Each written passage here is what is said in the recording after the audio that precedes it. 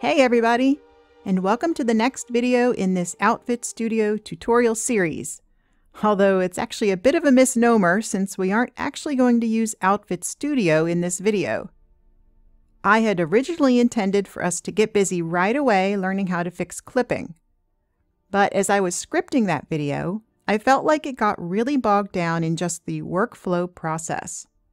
So I decided to switch to Plan B and cover the workflow separately. And do that up front because we need a solid base to build upon as we move forward to more difficult things. This will be in four parts, with one video for each. First, how to find and get your outfit meshes, whether they are loose files or packed in a BSA. Second, how to take your outfits into Outfit Studio, make some simple changes, and then get them back out. Third, how to use NifSkope to check your work and reorder meshes if needed. And finally, how to go about testing your outfits in Skyrim. I will try to get these four videos out fairly quickly so we can move on to more exciting things without too much delay. Note that there is actually a fifth part of the workflow, adding the outfit to a mod. But that requires more knowledge than I'm ready to dump on you right now, so we'll cover that in the future. For the moment, if you are willing to use a demo mod that I've set up to go along with this tutorial, then adding our first few outfits into the game will already have been done for you. If you already know how to do all of the workflow steps that I'm going to cover in these four videos, that's great. And I'm sorry you'll have to wait a bit longer for the more complicated stuff. But I did not think it would be helpful for the new folks if I skipped over these very important steps, or if I just glossed over them lightly, because they are the foundation of our outfit building and they're critical to our overall outfit workflow success. So I'll beg for your patience while we finish laying these bricks, and I promise we will get to more exciting things as the series continues. Here is an overview of what we will be doing in this video, and you can use the timestamps in the video description to skip to specific steps. This is going to be a video for beginners. I will assume that you don't know how to do these steps yet, so I will be going slow and explaining in detail. If that's not what you're looking for, then this video is probably not for you. I mentioned that I created a demo mod as a companion for this tutorial series. This mod is a simple set of outfits and accessories that use assets from Petrovich's LE mods called UNP Simply Clothes, UNP Leather Clothes, and DG High Heels and the links to those original mods can be found on my demo mod page. I will be using this companion mod that I created to walk through a number of different Outfit Studio activities, and you can download it to follow right along with me for many of these videos. Even if you don't want to do that, you might want to download it as a practice mod, a safe place where you can mess around with outfits and try things out without messing up any of your other mods. You can find the demo mod called Simply for Practice here on the Nexus, and the link is in this video's description. If you would like to use it, head over to that page, then download and install it as you normally would via your mod manager. Be sure to activate it in your load order. If you opt not to download the demo mod, that's totally fine. But please do take a moment right now to decide which mod or folder you're going to extract meshes into when we get to that step in a few minutes. Okay, the first part of our workflow is finding the meshes in the first place. This is pretty easy if they are included in a mod as loose files, meaning that when you open the mods folder, you see a meshes folder. And inside this meshes folder, you are able to see files that end in .nif. We've done this already if you followed along with the basics video, but let's do it again real quick as a refresher. Navigate to wherever your mod manager keeps its mod folders. If you aren't sure and you use MO2, you can get to them easily by finding the mod in your list on the left, double-clicking on it, and then selecting the File Tree tab up here at the top. click on the button that says Open Mod in Explorer and the window will pop up. I highly recommend pinning the folder where your mods are stored. That way it will always be up here in Windows Explorer. To pin a folder, simply right-click on it and select Pin to Quick Access. You can always undo that later if you want by clicking the folder in the Quick Access bar and selecting Unpin from Quick Access.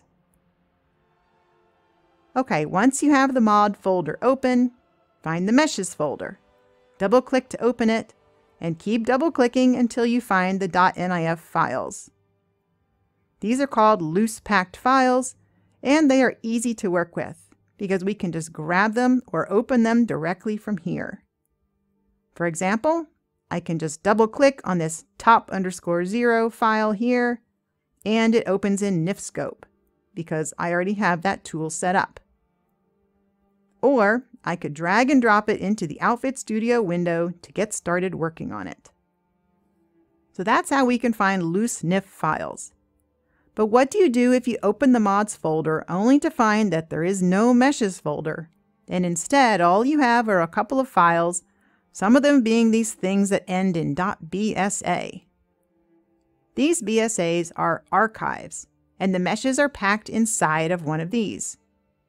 The Skyrim armor and outfits that come with the game itself are all packed in this way. And some mod outfits get packed this way too.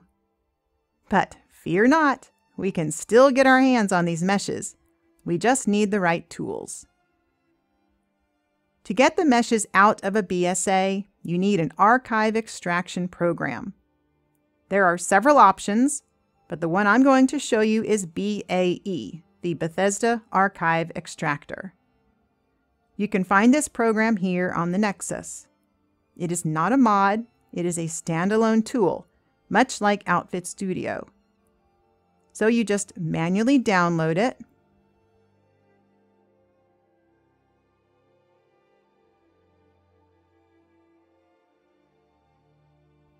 double-click to open the zip file, and move the contents to a folder on your computer. As a best practice, you generally don't want to put things in your Programs or Programs 86 folders. That's because Windows can be weird about stuff that is located there, and sometimes software won't work properly. I recommend making yourself a Modding Tools folder right in your C drive and then putting things like BAE, NifSkope, etc. into that folder. We don't need or want to run BAE through MO2, so don't worry about that. Okay, so I'm going to drag and drop the BAE files I've just downloaded and opened in this zip folder into a new folder that I made on my computer called BSA Extractor which I've created inside a main folder called Modding Tools right in my C drive. From here, I can just double-click the executable file. It will end in .exe if you have file extensions turned on, which I highly recommend. And BAE will open in this little window. If you use this tool a lot, you can create a desktop shortcut by right-clicking on the executable selecting Create Shortcut, and then dragging the new shortcut to your desktop.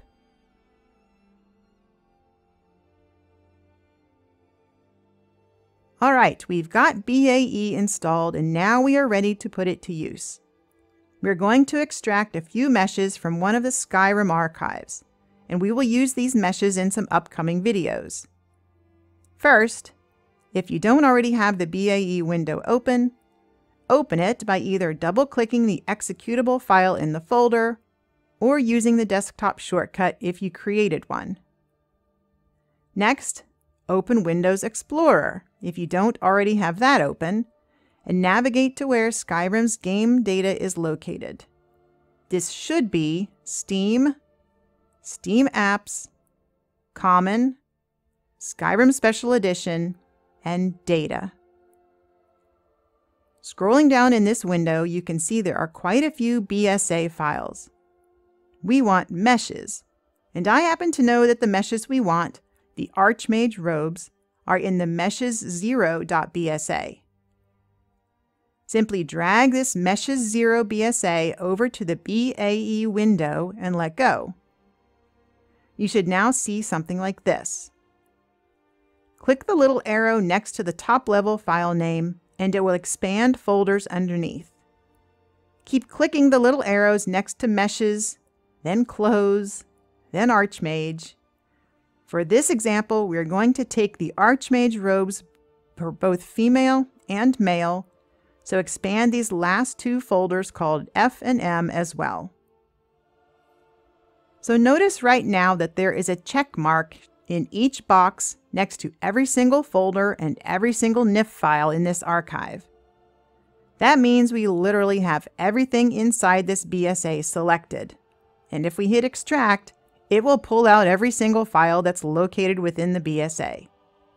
That's a lot of files, and we don't want or need that. We just want the Archmage robes.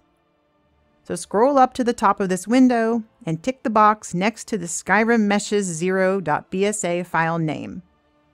That will untick all of the folders and files located beneath it.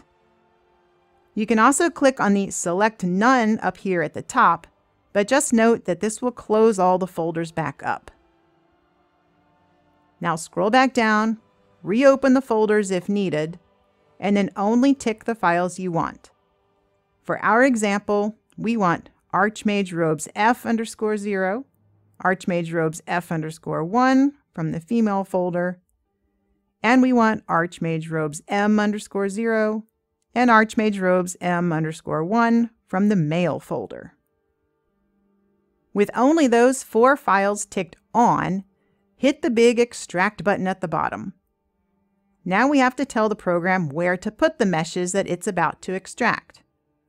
If you're using the demo mod for this tutorial, called Simply for Practice, navigate to that mod's main folder and select it. If you are not using the demo mod, decide where you'd like to put these meshes and select that folder instead. One word of warning here. The files will be extracted in the same folders that are shown in the BAE window, meaning that you're going to get meshes, clothes, Archmage, F and M folders with the files nestled all the way down inside as shown here. That's fine, but be sure that you do not select the Meshes folder inside your mod as the extraction location, or you will end up with meshes nested inside meshes. I'll show you that in a minute. For now, select the main mod folder. In our example here, it's called Simply for Practice, and hit Select Folder. You may not see anything happen, and you might wonder if it didn't work, because we only had four files, and they were extracted so quickly that you probably didn't see anything. That's fine. Just navigate to the mod folder that you specified as the extraction location. It's simply for practice if you're using the demo mod, and check to make sure the meshes showed up there. Note that this extraction process will not overwrite any existing meshes folder inside the mod. It will simply merge the extracted folders and files into the meshes folder that you've already got. So you don't have to worry about losing anything during this process. If you don't have a meshes folder already, it will create one. If you accidentally selected the meshes folder in your mod as the extraction location, then you're going to have a nested meshes folder inside the meshes folder. We have to fix this or else Skyrim won't be able to find these Archmage Robe NIFs. You can tell whether or not this happened by opening the mod's meshes folder. If you see a second folder inside that's also called meshes, then that's what happened. But don't fret, it's an easy fix, especially if you don't have many files. First, let's rename the extra meshes folder so we don't get confused. Slow click on it then change its name to something obvious like extra mesh folder and hit enter. Then right click on this folder and select open in new window. Put the window for the original meshes folder and the window for the extra mesh folder right next to each other. Then double click to open the extra mesh folder so that you can see a folder called Clothes inside of it. Click and drag this Clothes folder over into the original Meshes folder in the other window. And make sure you can see Clothes inside of it. Keep opening the folders if you want to confirm that the Archmage robes are indeed down in there somewhere. If you still have the BAE window open with the archive structure visible, you can compare your folder structure to make sure everything is in the right place. Once that's all confirmed, just click on the extra mesh folder and hit delete on your keyboard. Now you should be good to go. Pro tip, you can always use BAE to simply view a BSA folder structure without even doing the extraction. This can be helpful if you're making a replacement NIF and you want to be sure you've got the file in the right place with the right structure for the folders. And that's it for now. We'll be playing around with these extracted meshes in Outfit Studio in the next video, so stay tuned. Thanks for watching, and I'll see you again soon.